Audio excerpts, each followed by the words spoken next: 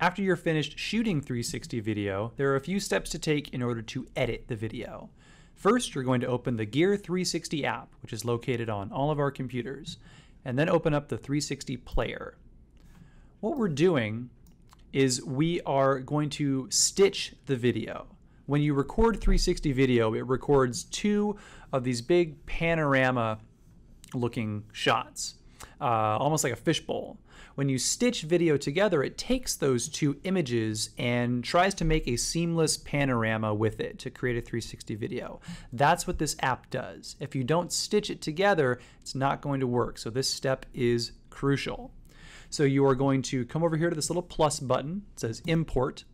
And you are going to navigate to a video that you want to convert and stitch. So here's one, uh, 360, locals 360. Bring that in. And that's going to take a few minutes.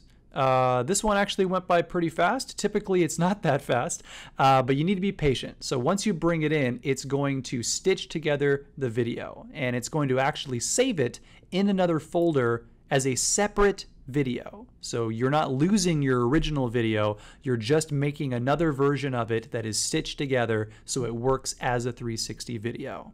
Because these are large video files, it may take a while for it to stitch together, so you have to be patient. Once all of your videos are stitched, you'll be able to tell because you're going to see a 360 icon in the top right corner. Once you see that on each of the clips you've imported, now you're ready to edit. Let's go into Adobe Premiere. The newest version of Adobe Premiere on our computers at OMN actually works really well with 360 video. Here's how it works.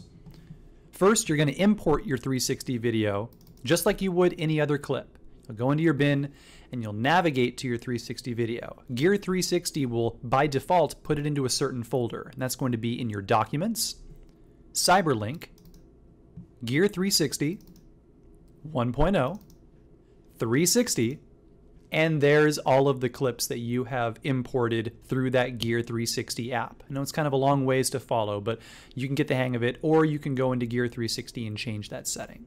So pull in the video that you want. I'm going to pull in this one here at the top. Sometimes it can take a little bit before it works, so you need to make sure that you're patient. This is big video file we're working with, so you need to take your time. But once it's imported, it works like any other clip. You can bring it up into your preview window, you can play it, stop, scrub through, set in and out points, just like you would any other clip. And just like any other clip, you can drag it down onto a sequence and edit it there. So I'm going to make a new sequence by going to File, New, and Sequence. And to be honest, it doesn't really matter what preset I select for it because we're going to do a trick that will change the sequence setting to match the video. So I'm just going to select the one they give me by default and I'm going to call it Locals 360. Once you create your timeline, take your clip, set your in and your out point, and drag it down onto your timeline. And it's going to say, this clip does not match the sequence's settings. Do you want to change the sequence to match the clip's settings? Yes, we do. So change the sequence settings. Now you'll be able to see your clip in the program window. And again, just like any clip, you can play it, pause it, scrub through, and make any edits like you normally would.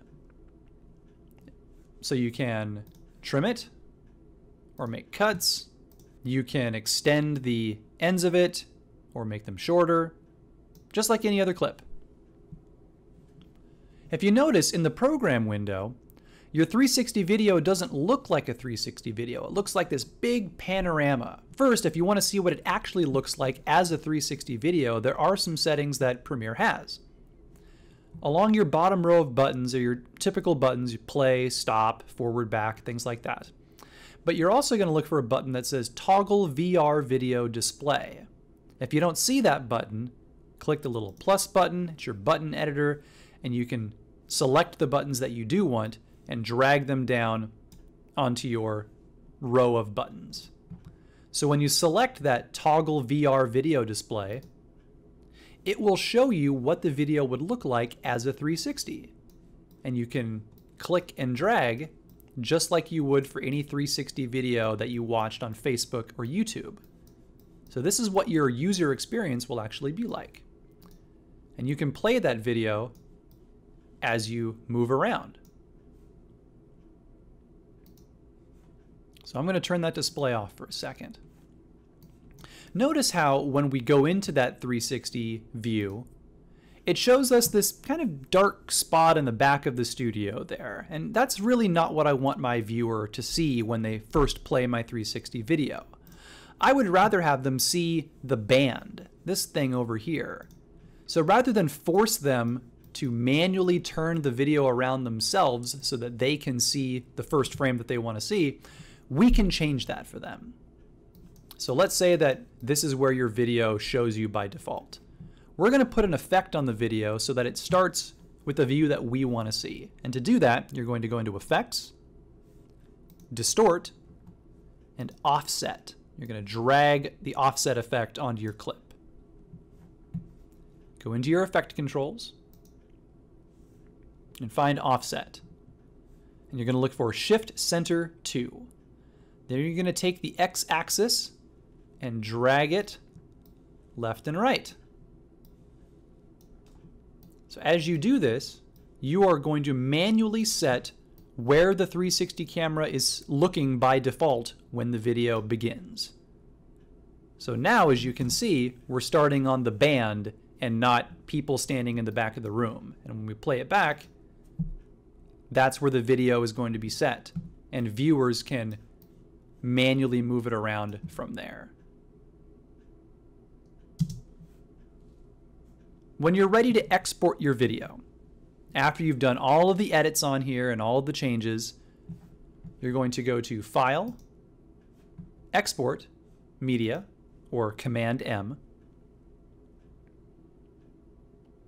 And then when you're exporting it, you need to make sure that one button is checked. It's still going to look like that panorama, but it's not going to come out like that in the end. If you come down about halfway to where it says video, that little menu setting, you scroll down. You want to make sure that the video is VR button is checked. If that's not checked, Premiere will not export a 360 enabled video. It'll just be this big panorama and it won't work on Facebook or YouTube. So make sure that it's checked. And monoscopic is what we want there. Then you export it as normal. Give it a name, give it a location, hit export, and then just wait for it to finish. It's going to be a large video file, so it's going to take a few minutes, especially if you've put effects on there, especially if you've put text on there. So be patient. It's going to be a little bit. So go get a snack, and then when it's finished, you'll be able to have your 360 video that you can export and put onto Facebook or put onto YouTube. Any service that allows 360 video will operate like a 360 video. Well, that's it for this module. If you have questions, uh, please let me know, but good luck with your 360 videos.